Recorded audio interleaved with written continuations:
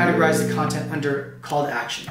So now is where you're focusing really heavily on getting them to book the meeting, uh, take a call, you know, respond back through emails. And how we try to do this is simply, if you're thinking about it from like an email standpoint, we try to summarize the call to action into like two to three sentences.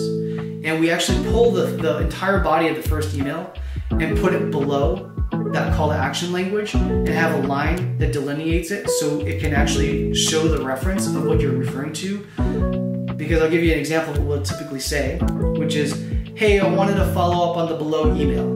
Let me know if you have some time uh, for us to connect this week or next. As simple as that. Very clear on the call to action, what you're expecting and hoping from them. And you're giving the whole thread of that original email for them to reference as to what the context is for what the meeting's to be about. Join LeadrPro